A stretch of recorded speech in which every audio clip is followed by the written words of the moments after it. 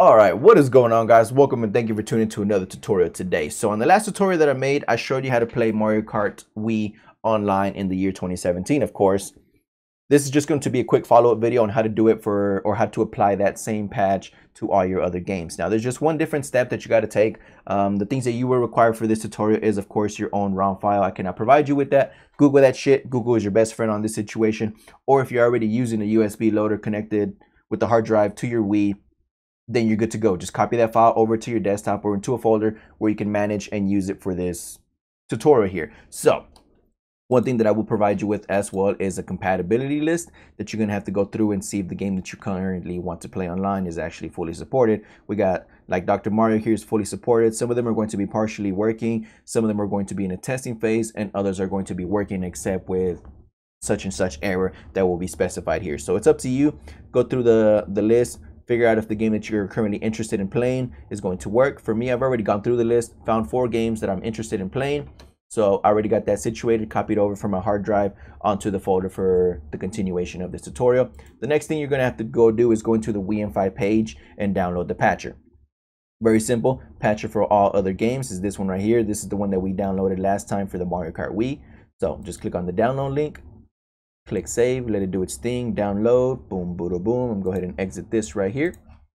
I'll show you exactly where my output file is right here. So for those of you that don't have WinRAR or whatever program that you're running with, just extract it. If you do not have an unzipping software, I provided you with the link down there in the description for WinRAR just click OK, let it do its thing. I've already got that extracted, so I'm gonna go ahead and delete it. And I'm gonna go ahead and delete that for the continuation of the tutorial. I got everything situated down here. So I got my patcher, and then I got my four ROM files. For this tutorial, I'm going to be using uh, Mario Sports Mix, Super Sluggers, um, Sonic and Race and Sega All Stars Racing, and then this one right here is going to be my Super Smash Bros. Brawl. For some reason, I cannot pronounce that name correctly anytime that I try.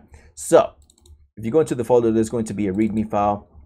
This is going to tell you exactly what I'm going to tell you as well all you got to go do is go into the specified folder for your operating system. So if you're running Linux, you're going to go into the Linux folder. If you're running Mac, you're going to go into your Mac folder and da da da. So we're running Windows, so we're going to focus on the Windows folder. Once you got the image file copied into the Windows folder, all you got to do is click on the patch hyphen wiimmfi.bat file or the patch hyphen wiimmfi.sh file. And then once it's doing this thing, it's going to create a folder in here that's going to call be called wiimmfi images. So to get on with the tutorial, gonna highlight all of these, cut all the, the images, go into the Wiimmfi patcher, go into our Windows folder, paste them in there. So we got four of our images right here. And then all we got to do is go into click on the patch Wiimmfi. Now it's going to do its thing. Once it's done, I'll come back and we'll continue from there.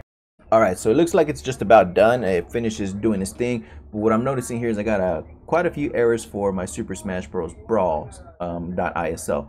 I'll have to look into that. We won't focus on on that in this tutorial but as you can see right here mario sports mix finished just fine. Then we got our strikers charge football finished just fine. And then our sonic sega finished just fine. So all we're going to do is hit the space bar.